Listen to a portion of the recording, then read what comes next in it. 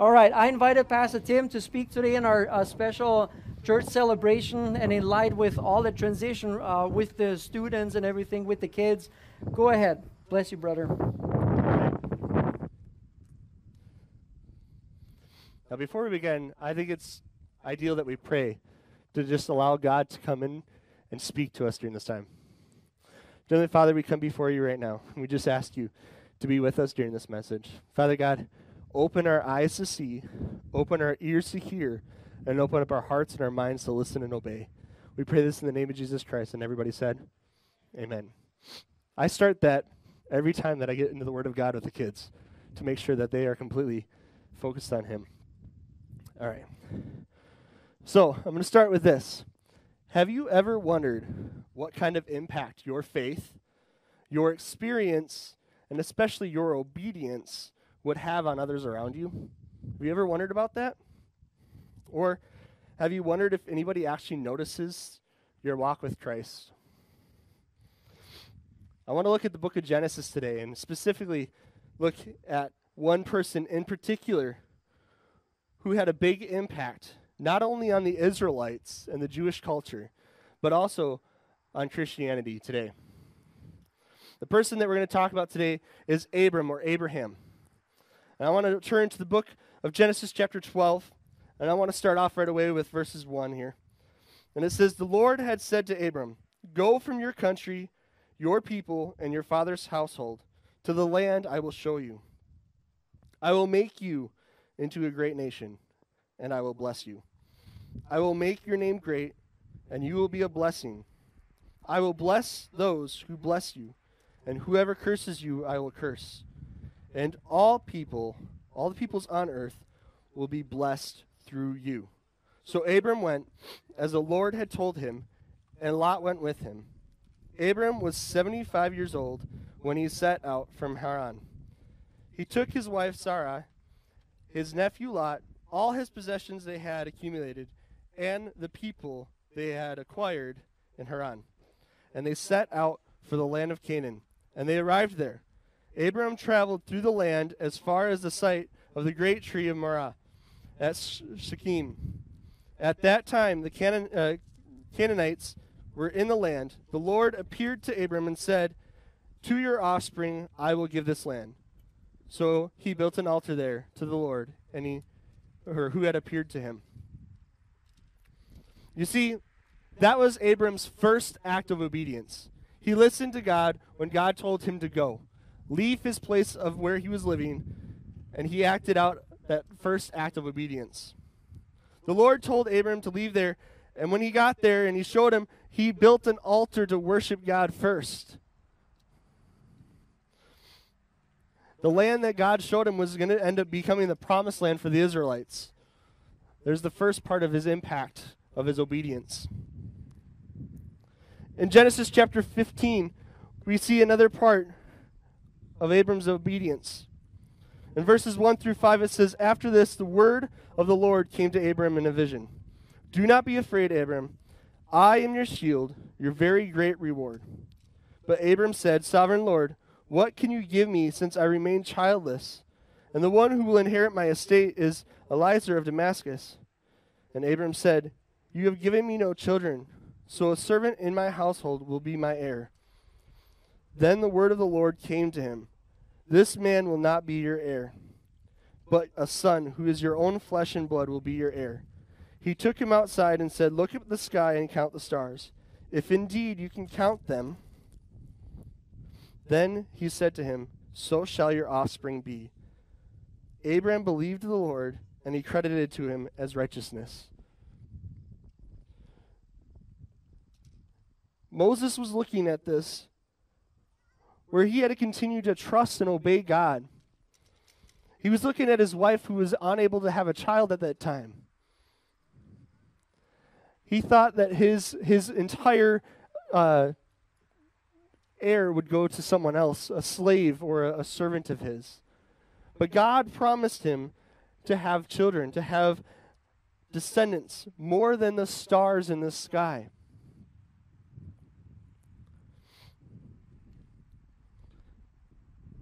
God promised that. And in chapter 21 of Genesis, we read that Abraham's wife Sarah gives birth to a son, Isaac, his one and only true descendant from his flesh. But it gets confusing in this story as you read the book of Genesis and, and the story of Abraham. Because in Genesis chapter 22, something happens. God comes to Abraham and tells him,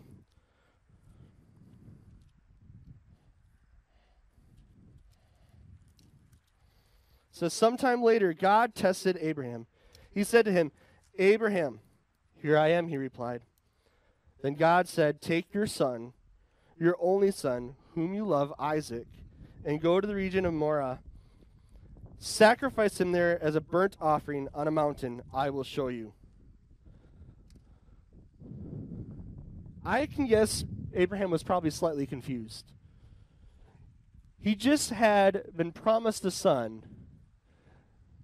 He was promised descendants more than the stars in the sky, and God is sitting there saying, Now go take your son, offer him as a sacrifice to me. Any normal human being in their right mind would walk away. But Abraham trusted God. He was faithful. He obeyed God and he went. He took Isaac, who, Isaac, if you imagine a kid questioning dad, Daddy, where are we going? Daddy, why are we going up to the mountain to have for a sacrifice? Where's the sacrifice? And Abraham kept on having to say, God will provide the sacrifice. Because in, in verse 8 it says, God himself will provide the lamb for the burnt offering, my son. They went up there, and as soon as they were up there, they got the altar built. And in verse 10 it says, Then he reached out his hand took his knife after he laid his son on the altar to slay his son. But the angel of the Lord called out to him from heaven, Abraham, Abraham. Here I am, replied.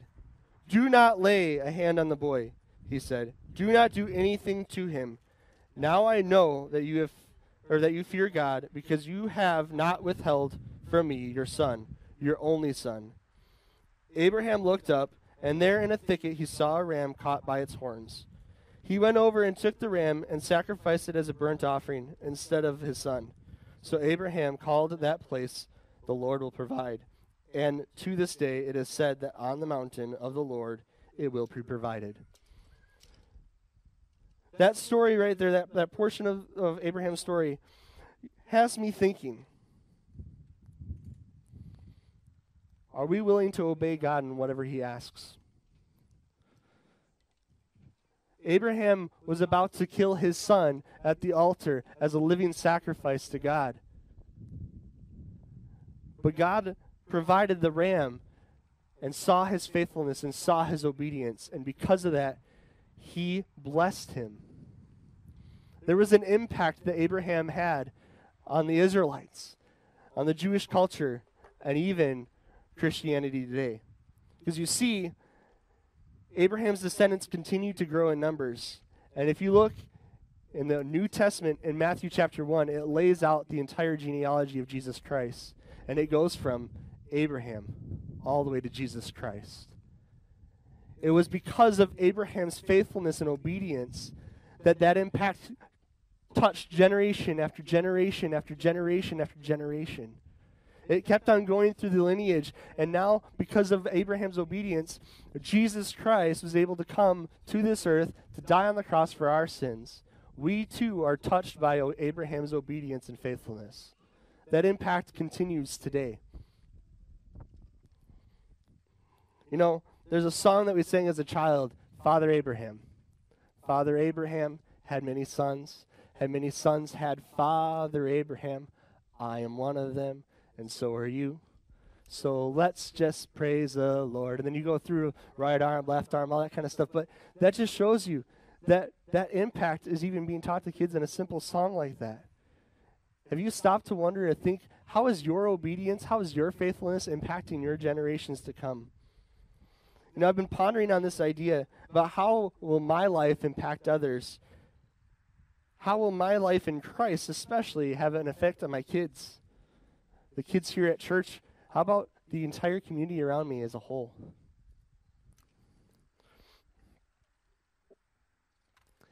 I've been thinking about this for several weeks since my dad died. See the impact he had because he obeyed God's calling. All the lives that he changed because he obeyed. He was faithful. Were times hard at times? Yes. Was my dad always happy because of stuff that was going on in his life? No. But because he set on that path of obedience and faithfulness and did what God called him to do, many people were impacted. So, my challenge to you today is where is your obedience? Where is your faithfulness? And are you ready to leave an impact? Are you trusting God to follow through in all areas of your life? Your finances. Are you worrying about your finances? Don't worry about it. Obey God when He tells you to tithe. Obey God when He tells you to give. Obey God when He tells you to serve. Don't worry about the worldly things because this is not our home. This is not the impact that we need to have is the worldly impact. We need the spiritual impact.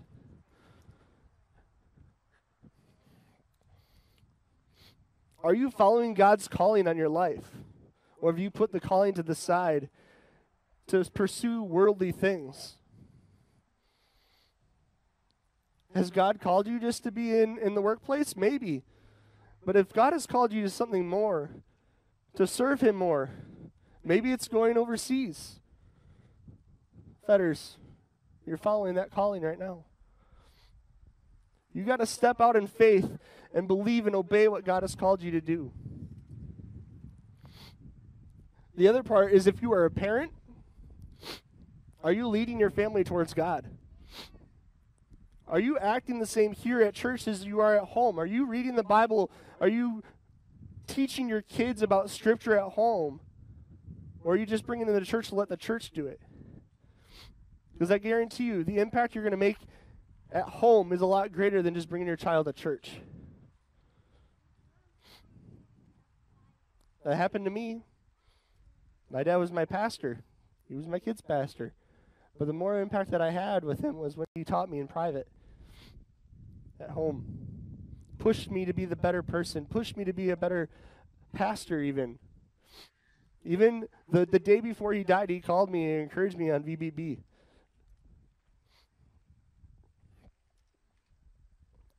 My last challenge is for you kids and you teenagers out here. How are you preparing yourself to make an impact to those around you? Many of you guys are going back to school here this week. And guess what? You can either be on the one side of, oh, I don't like the restrictions I have, so I'm going to complain about it, or you can be the shining light of Christ and allow them to see that through you. You're never too young to make an impact. One of my dad's favorite verses and why we used it for VBB was do not let anyone look down on you because you are young, but set an example in life, love, speech, and purity. Are you prepared to make an impact on this world spiritually, not physically, spiritually, generations to come, or even now? Worship team, come on up. Pastor Arnold.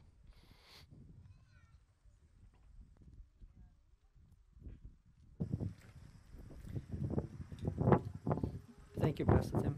Give him a big hand.